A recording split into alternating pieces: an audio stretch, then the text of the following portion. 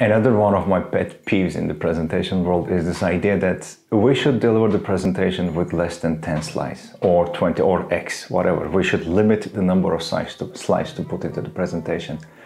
The first thing that comes to my mind is who decided that and who said you need to deliver the presentation in 15 slides, otherwise it's going to be too long. It doesn't matter whether you deliver the presentation with 10 slides, 5 slides, or 55 slides as long as you stick to the time given to you.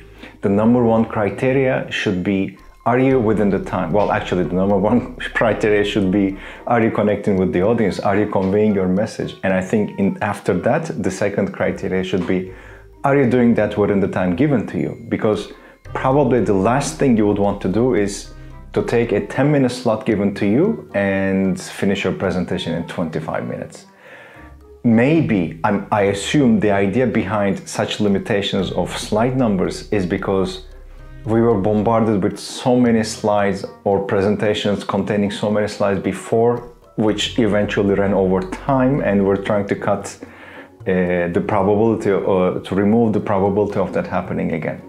But again at the end of the day it's not a it's not a performance contest where you are able to deliver the most with the least number of slides. No, what you and and in that case, what sometimes you may end up with could be crammed slides with so much text and charts and graphics, etc.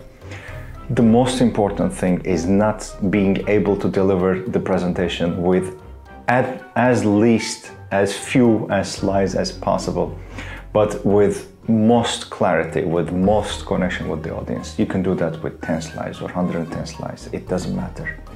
As long as two things happen. You connect with the audience, and two, well, first you connect with the audience, and two, you stay within the time slot given to you.